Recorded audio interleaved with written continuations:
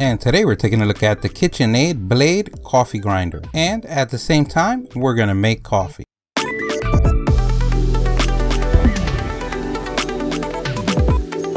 And this is a one-touch control blade coffee grinder that you can easily get under $30. If you're interested in this particular one, I'm going to leave a link on the description. And this grinder has a bean capacity up to 12 cups and a minimum capacity of 4 cups. It has a clear, black, and stainless steel look that goes well in any kitchen. The coffee bean container and the blade are made of stainless steel, which is great to prevent rust. If you want to have a great cup of coffee and want to get all the flavors as well as controlling the grind that would help you get a real dark coffee a medium or a light is to grind your own fresh coffee beans. And the great thing about it is that with time, you'll get the perfect consistency and amount for your taste. So each cup you make, you're gonna assure you're gonna have a great coffee.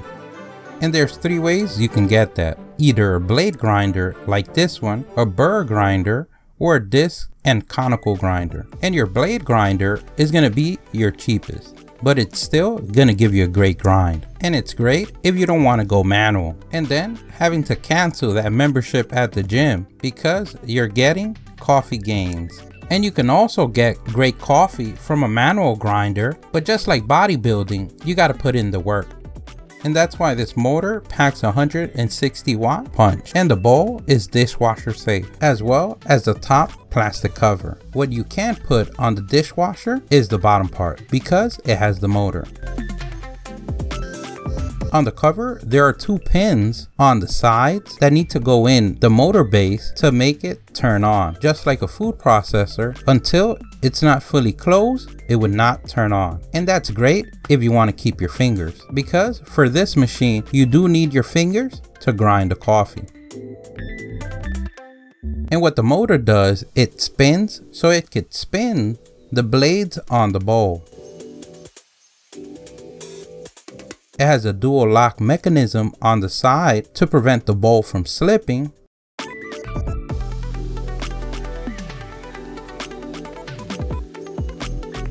And as you can see, there are measurement sizes on the bowl to know the correct amount, to have a guide for pouring your coffee beans. As you can see, that's the blade that's gonna ground your coffee. So it's not actually gonna grind it, but like a ninja hitting a piece of wood, it's either gonna break it, crack it, or cut it until you let go of the button and get to your desired consistency. Let's go ahead and put some coffee and try out this bad boy.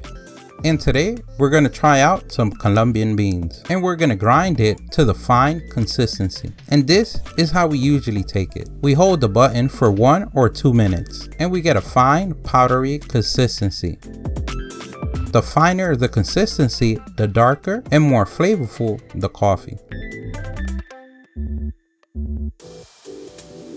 And according to your taste is the type of coffee beans that you'll use or according to your location that you can get your hands on. Usually the two major ones are coffee Arabica beans or coffee Robusta, which are the most common ones. Then you have the rarest ones like coffee Liberica or coffee Excelsa. And probably we butchered those names, but that's what we do in the StatUpBox team. As you can see, the only drawback of this machine being the blade elevated, you get coffee on the bottom. And with each spin, it packs down on the bottom. We've been testing this bad boy for about two months and never had a bean get stuck under there or not grind. What we usually notice is that the finer cut coffee goes to the bottom. And then when taking it out, you have to give it an extra hit to get it out. Now, depending on how long you press the button is how fine you're gonna get the coffee bean grind. The finest, we usually go for a maximum of two minutes. For medium coffee, about one minute. And for coarser coffee, a couple of pulses or anything under a minute. Overall, this is a great machine. It's very quiet compared to other grinders and in our testing for about two months, we haven't had any issues or non-grounded coffee beans. Don't forget, if you liked the video, please give us a thumbs up, that really helps. If you have any questions, place them in the comment section below. Don't forget to subscribe, follow us on social media. Thank you for watching, and here's a link to our latest video.